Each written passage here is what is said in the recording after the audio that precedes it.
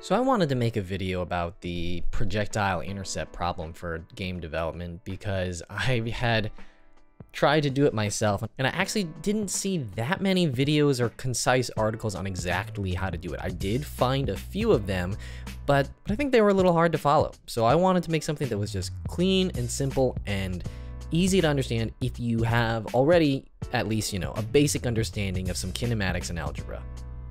I wrote a companion article to this on Medium, and I will pretty much be reading straight off of that.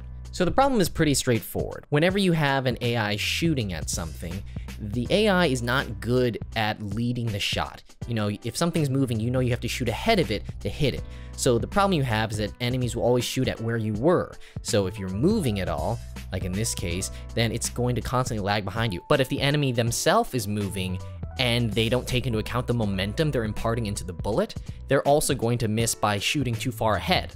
So the goal is basically to find the direction that a shooter has to shoot at a relatively moving target. So first off, you want to ignore gravity and assume constant velocities. This will work in 2D or 3D because by the end of it, you'll be using dot products, which scale with the dimensions of your vectors. So one thing that you're definitely going to want to do is you're going to set all positions and velocities relative to the shooter. So if both the AI and the target are moving, you're going to want to subtract the AI's position and speed from the targets so you can find out what it would be like if they were at rest. And then you're going to have to add that back in afterwards. The variables that you're going to have at the beginning are the shooter's position, the bullet speed, target position, and the target velocity. The unknowns are going to be time, and the thing that we ultimately want to know, which direction to shoot the bullet in. So you're going to use some basic kinematics at first. The final position of an object is equal to its initial position plus velocity times time. For the bullet, it's going to start at the shooter. It's going to have a speed times a direction times time. Now the speed and the direction combined make velocity, but because we only know one part of it, that's why we're splitting them up here. But for the target, since we know the velocity, we can just use target's velocity. So of course, if we intuit that they meet at their final position, you can set these two equations equal to each other. And since the bullet starts at the shooter's position of zero, since we're doing this all relative from the shooter, you can just cancel out the shooter's position. Now, the second equation was the harder one for me to intuit, because I kept thinking, what else do we know about the situation that isn't already expressed in these first equations? If we derive anything from just these equations, it's going to be redundant.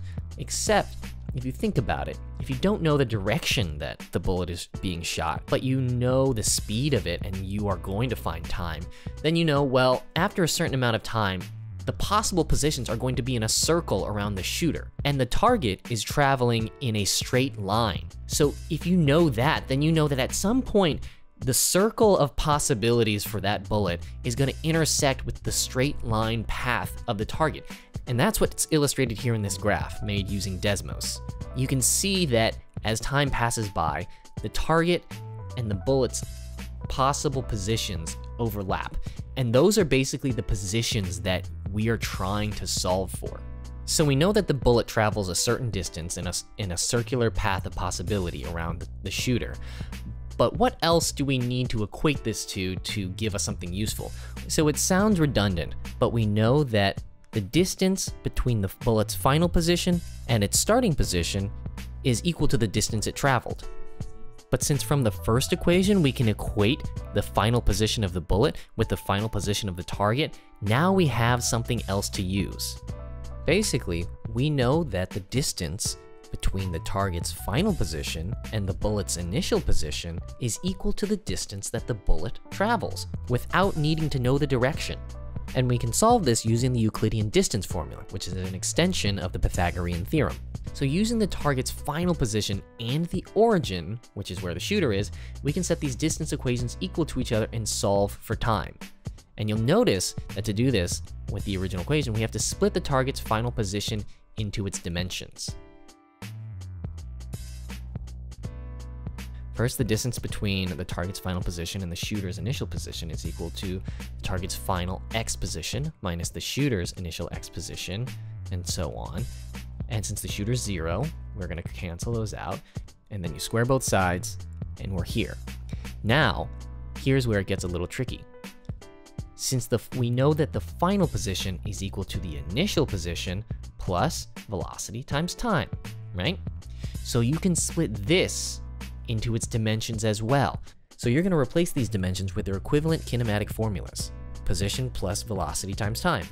And so you're going to expand all this out, and then you're going to solve it for time. And now you're going to have a quadratic equation. You get these as the quadratic coefficients. They look a little complicated, but they get a lot simpler once you turn them into the dot products. So what you might not notice is that these are the dot products of the original vectors that we had at the beginning. So the dot product is when you multiply the dimensions of vectors together and sum them. So what that means is you multiply the x times the x and the y times the y, or the z times the z, and you add it all together. And so it works no matter how many dimensions for a vector you have. But generally, of course, in game development, you only have two or three. So that's why it'll work in 2D or 3D, because when you call the dot product in your game engine, it's just a function. It'll do it the same no matter what you give it. So if we replace these original variables with their equivalent dot products, we have something that's going to be pretty simple for you to implement in your game engine. So now that you've got that, you're going to do the classic negative b plus or minus a square root of b squared minus 4ac all over 2a, and you're going to wind up with some solutions. Now, if you remember, quadratic equations don't always have solutions. They might have 0, 1, or 2, because sometimes, you know, if the target is already traveling too fast and the bullet can't catch up, well, then it'll never hit it.